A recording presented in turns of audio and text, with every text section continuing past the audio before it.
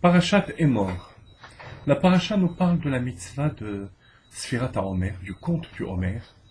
Et j'aurais voulu, j'aurais voulu vous montrer à, travers cette mitzvah comment les mitzvot des rabbanan, les lois des rabbanan qui ont été décrétées par les rabbins qui sont là pour protéger les mitzvot de la, de la Torah, sont d'un certain point de vue encore plus puissantes que les mitzvot de la Torah elle-même. Un petit peu comme les mitzvot de la galoute qu'on accomplit en exil, euh, qui sont une préparation pour les mitzvot qu'on accomplira lorsque Mashiach arrivera, comme le Ramban, Nachmanide le développe au sujet du verset Hatzivilach Tzionim, euh, fait des rappels aux mitzvot pendant l'exil, de manière à ce que lorsque Mashiach vient, très prochainement, on puisse accomplir de manière parfaite les mitzvot. Eh bien malgré tout, il y a une supériorité des mitzvot qu'on accomplit en exil par rapport même aux mitzvot qu'on accomplira lorsque Mashiach viendra. Alors, euh, et je vais vous prouver bien sûr tout ça à travers la mitzvah de Sfirat Omer. Vous savez que la, la mitzvah de Sfirat Omer consiste à compter 49 jours jusqu'à Shavuot, depuis Pessah jusqu'à Shavuot. Et si on manque un de ces 49 jours, on ne pourra plus continuer le décompte du Homer avec la bénédiction, avec la bracha, mais sans la bracha. Pour quelle raison? Alors, je vais vous l'expliquer de cette manière. On a 49 jours. 49 euh, jours où on accomplit chaque jour une mitzvah. C'est ce qui fait d'ailleurs que chaque jour, on récite une bénédiction à part. C'est-à-dire que chaque jour est une mitzvah à part entière.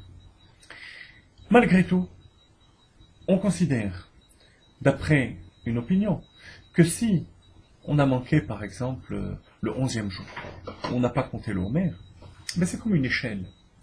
Lorsqu'il manque le onzième échelon, euh, on ne pourra pas atteindre le douzième. Si l'espace est trop grand entre les deux, entre le dixième et le douzième, on ne pourra plus l'atteindre. Mais de même, même si le douzième jour est une mitzvah par entière, on ne pourra plus dire douzième si on n'a pas dit onzième. Et c'est ce qui fait qu'on continuera quand même à compter. Parce qu'il y a l'autre opinion qui considère qu'on peut sauter un échelon.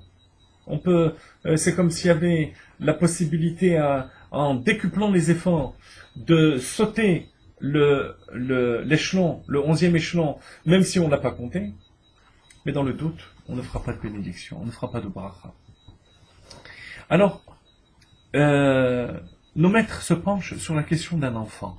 Imaginez-vous un enfant qui a compté euh, le Homer en tant qu'enfant jusqu'au euh, jusqu'au dixième jour. Et que le onzième jour, il devienne bar mitzvah. Pendant les dix premiers jours, il n'a pas accompli de mitzvah de la Torah puisqu'il n'était pas encore bar mitzvah. Donc on peut dire d'un certain point de vue, il n'a pas gravi les échelons du Homer, de l'ascension vers Shavuot, vers le don de la Torah.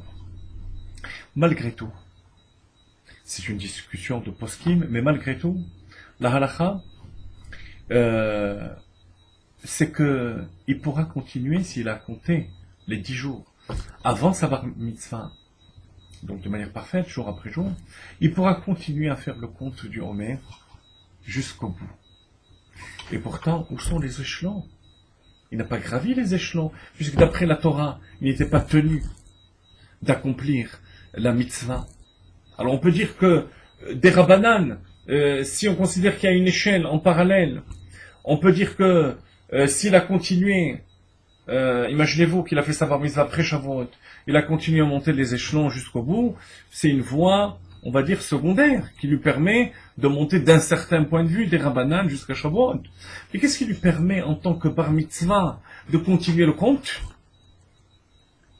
Puisque dans l'échelle dans laquelle il se trouve le onzième jour, euh, il n'a pas gravi les premiers échelons d'après la Torah. Bonne question. Eh bien, imaginez-vous une passerelle entre les deux échelles. C'est comme si la lampe de lancement, de lancement pardon, l'échelle de la mitzvah des Rabbanan, faisait qu'arriver le onzième jour, il devient bar mitzvah, c'est comme s'il y avait une passerelle qui le propulsait de la première échelle à la deuxième échelle. Et c'est ce qui va lui permettre d'arriver d'après la Torah au 49e degré. Vous voyez donc la force du mitzvah des Rabbanan. La mitzvah des Rabbanan n'est pas là pour nous imposer des choses en plus.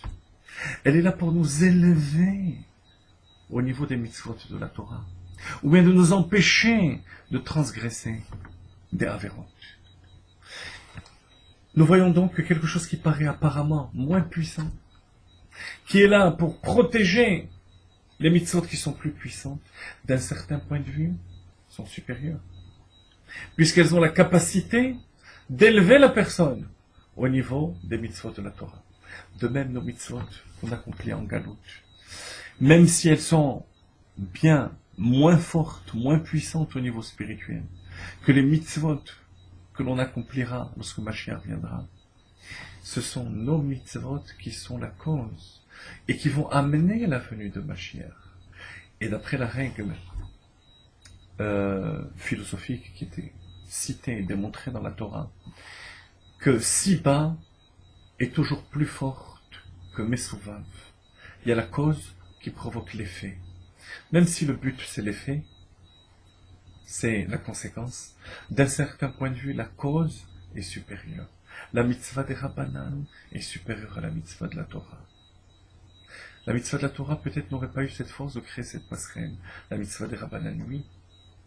De même, les mitzvot qu'on accomplit maintenant ont une puissance et une valeur exceptionnelle, même par rapport aux mitzvot messianiques, que l'on accomplira lorsque Mashiach viendra. C'est la raison pour laquelle euh, le Midrash nous dit que lorsque Mashiach viendra, on languira l'époque de la Galoute. Alors, profitons de ce mérite qui nous est donné pour développer toute notre énergie, pour utiliser toute notre énergie dans l'accomplissement de la volonté de Dieu, pour que bientôt, lorsque Mashiach viendra, on se rende compte de toute cette puissance qu'on a développée pour brûler les murs de l'exil.